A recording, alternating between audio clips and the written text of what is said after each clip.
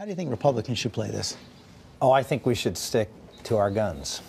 and, uh, you know, George reminded me of something I said to him back in 94 when I ran for the Senate in, in Pennsylvania. He said, How am I going to win? And I said, Guns. Uh, this, and I don't think that, I think it's even more important issue for people today, given the increasing level of violence in our society. People feel unsafe and and and having a gun and gun ownership is uh, is is part of how people can feel safer. And when you look at the, in my opinion, the in the, in, the disingenuousness of of the uh, of the administration, they met with the NRA, uh, as you know, Joe Biden did, and uh, the NRA brought up the fact that prosecutions for gun crimes and prosecutions for uh, people who fill out uh, who lie on their on their registration forms or gun forms are down under this administration.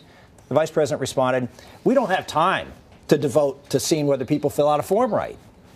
Well, wait a minute. They're asking for more forms, and, and they're saying they don't have the time to fill out, to, to check what, what is. is. Are they serious about this, or is this just about politics? Uh, well, first of all, let's be clear about why there has been fewer enforcements. I mean, the head of the NR, the head of the ATF has been failed. There's been a failure to confirm because the NRA has been objecting. The NRA has objected to reasonable, pragmatic solutions, and that's what this is all about. This is not about taking people's guns away. It's about a narrow set of proposals that will enable us to help enforce the existing gun laws, the ban on assault weapons, and a ban on high capacity magazines, and even a ban on armor piercing bullets are overwhelmingly supported right. by the citizenry.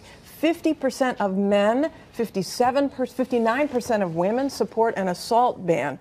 Uh, assault weapons ban. Same number for a ban on high capacity magazines. I think the president views this. He is really, he sees himself as the protector in chief